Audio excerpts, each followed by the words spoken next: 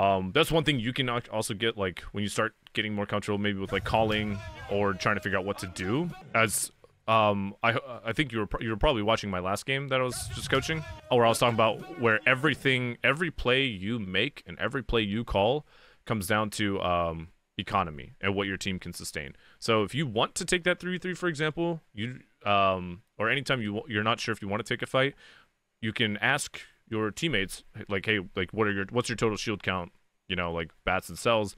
If they have a lot then you can take the fight. Um if it's like a hard 3v3 if you need to. But most of the time um, especially if you're really really low on shit, you should just take whatever's free in front of you. I'd also get in the habit of calling absolutely everything you do. You you're cracking and doing a shit ton of damage to people.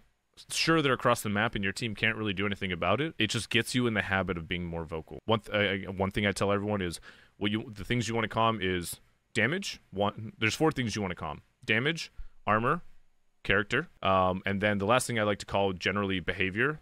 But what that that just means like, are they sitting somewhere? Are they moving somewhere?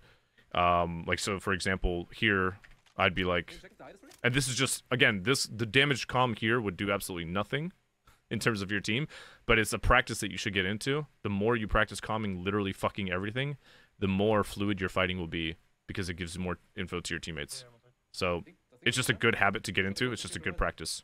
Just something that gives your team more info. Because even if you're not the one calling the shots, if someone is calling the shots on your team, they're also going to want as much info as possible. Obviously, you're not going to do anything on this, right? There's absolutely nothing you can do here. But it's just something to get in the habit of doing. Uh, I tell everyone that you can be the worst fucking player in Apex, um, and you can struggle to get better. I don't know, it's just it's just not working for you. But one thing every player in the world can do is learn how to communicate.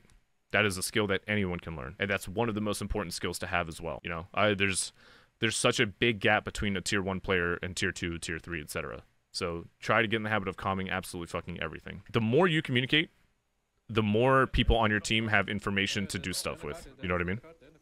Yeah. It's just yeah, it's communication is a skill that anyone can learn.